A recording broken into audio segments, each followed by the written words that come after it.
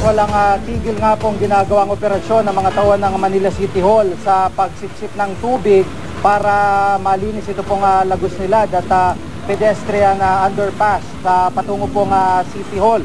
Mula po kanina umaga ay walang patid ang pagsipsip ng tubig dito sa Lagos Nilad na daanan ng sakyan mula Quiapo at Santa Cruz papunta po nga Taft Avenue.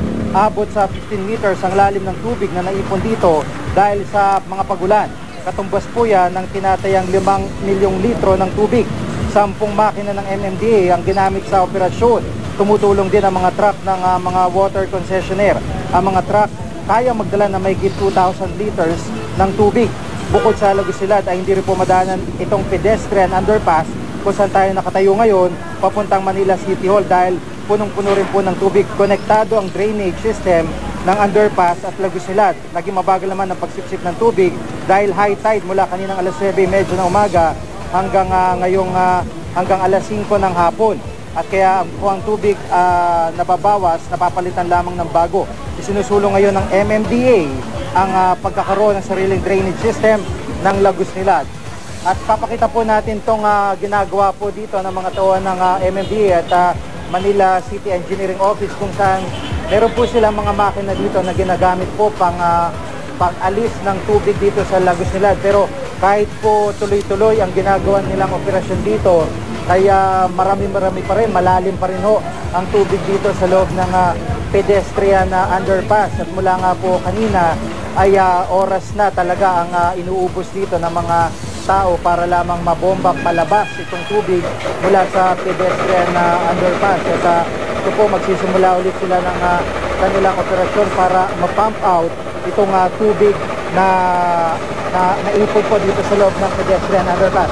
Papakita naman ho namin sa inyo kung saan ho napupunta itong ah, tubig na binobomba lang nila palabas. So, ito po yung ah, tubig, pasilip natin dito, no? Ito yung ah, tubig na nilalabas nila mula sa ah, may ah, may ah, pedestrian underpass. At ang ah, problema eh pag ho pumaling kayo ng konti, baling natin ng konti, makikita nyo kung saan naman naiipon. Doon lamang sa kabilang gutter. So, ah yun ho yung ah, nagiging ah, tubig naman dito sa labas. At mamaya ho, tingnan natin ang paliwanag yung City Engineering Office kung paano ba talaga mabuti rito. Dahil uh, tuwing bumaba na lamang, eh yun ho ang problema dito. Samantalang, pakita rin naman ho natin yung ah, may bahagi ng Lagos Nilad na hindi po talaga napapakinabangan sa ngayon na karaniwan po yung underpass na yan ay ah, napupuno ng tubig. Pakita natin direct yung ah, top shot na nakuha natin dyan. At ah, yun ho yung ah, nagiging ah, problema sa underpass na yan. Meron ng mga truck ng water concessionaires na tumutulong para ho masipsip yung tubig dyan. Pero sa dami ho, eh, medyo matatagalan pa ang kanilang operasyon. Sa puntong ito, makasama po natin si Engineer Roger Legaspi, Chief of Staff ng Manila Engineering Office. Magandang hapon po, Engineer. Magandang hapon po, sir. Sa tingin niyo po ba, eh, mga gaano pa po itatagal ito po operasyon na ginagawa niyo rito? Ah, as instruction po sa amin ng Pangulo, na Pangulong Mayor, na Mayor Erap, eh, Joseph Estrada, at saka ng aming hepe, si Engineer Bernardo, na exert all possible ways para po mapadaanan.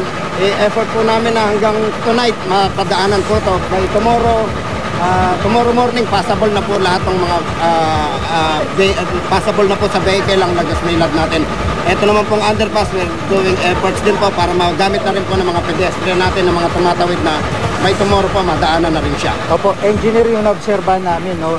Pag, pag ah, tingin nyo dito sa kabila ng kalsada, eh, dyan naman no, nagbabara. Hindi ba bumabalik ko lang siya sa drainage, tapos ipinapump out ulit? Yes sir, ito pong kabilang side na to, ito pong Victoria Street na meron pong ah, drainage line yan nakatutok sa pumping station natin sa likod ng ah, Manila Hotel. Oo. Ah, at at the moment, ginagawa po na rin ng MMDA na ah, ayusin po ang patakbo niya para po mawala na yung mga surface water na nandyan. Opo. Meron po tayong mga crews na nandun at pina, na itiningnan na po namin nila city engineer. Kasama po ang MMDA na chinek namin yung pumping station.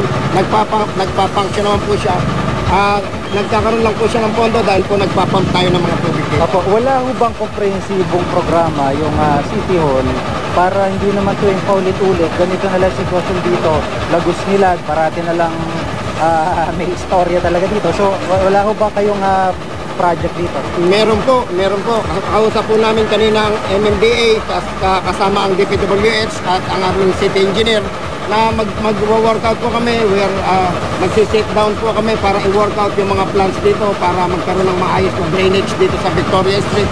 At the same time yung yung pumping station natin dito sa likod ng Lions Road na kumana at mapawala po ang baha rito. Yun po ang target ng ating ng Opo. ating Pe- city. pe- pero mga gaano katagal po bago implement yung planong yun? Ito po, yung at least nagsisimula po kami ng mga studies, ng mga ng mga surveys po rito sa lugar.